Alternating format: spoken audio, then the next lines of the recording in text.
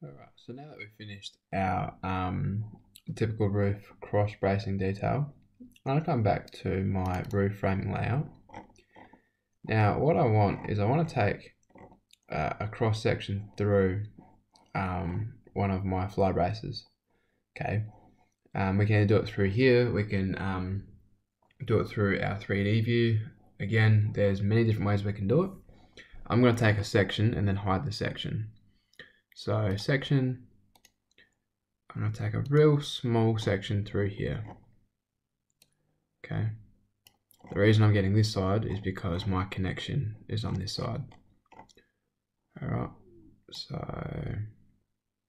as small as I can,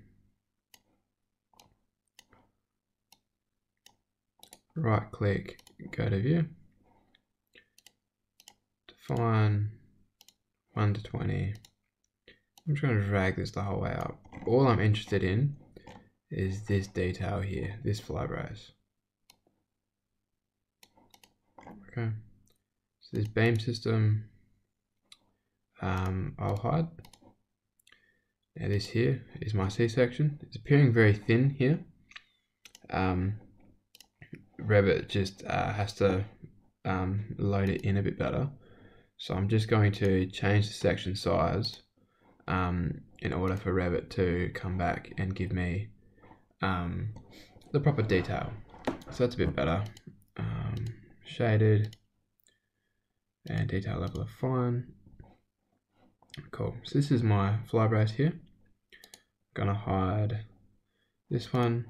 Um, I'll just assemble. What we can do is we can show a center line here as well.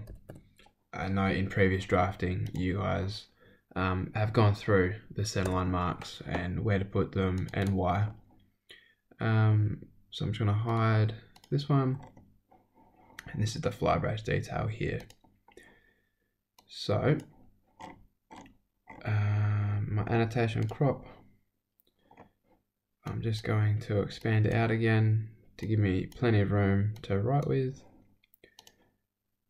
turn off my crop region, apply. Okay, now I need a break line here and here because I know this rafter is continuous. Uh, sorry, this purlin is continuous. If I continue out, I will see that it keeps going. So annotate component, detail component, rotate after placement, and at 90 okay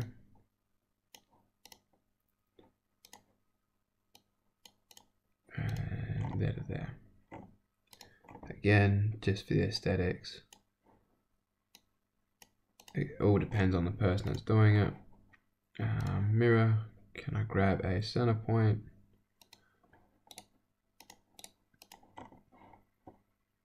okay and I'll just tidy that up. Okay, so undo my crop region, apply. This is my detail here. So what I need to do, this is my rafter, this is my purlin. So TX, P capitals, PL1, so purlin, and this is my R1. So again, make these just slightly bigger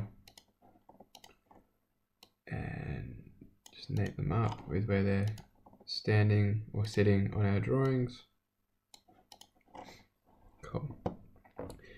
Now this plate here, hold tab plate, it's 8 mil thick plate, it's 190 high, 75 wide. So text, I have a 75 by 195 high by 8 millimeters thick. So these here should be lowercase. Um, and that's our cleat plate. And here I have two bolts, so two M, and from memory these were M16 bolts, 8.8 high strength bolts that are snug fit. Okay, I'll just check these now. So bolt 16 millimeters, awesome. So I select my um, text, put a leader onto the left, and that's sitting here quite nicely. Okay, so next I have my angles that I have to do with, and then my bolts as well. So I'll go TX. So this here was a 50 by 50 by 3 equal angle. And I have one on this side here as well. Okay, so to the right and then to the left.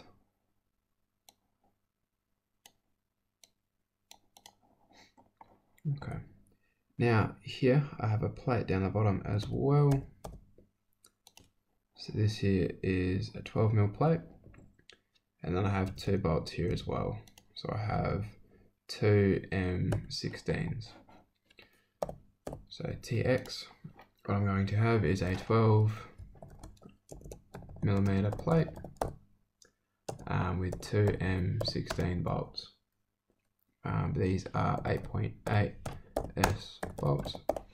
Now again, um, we will specify on our general notes this 8.8 um, grade.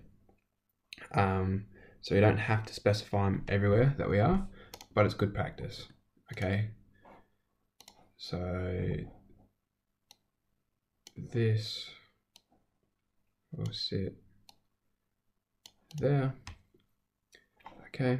Um, now that will finish off our typical fly brace detailing. Again, giving our um, detailers enough information to come up with cost and shop drawings and an estimate for the overall structure. So this here is our typical um, fly brace connection detail. So I will change my section name. So rename to our uh, typical, all in capitals, sorry, typical fly brace connection detail.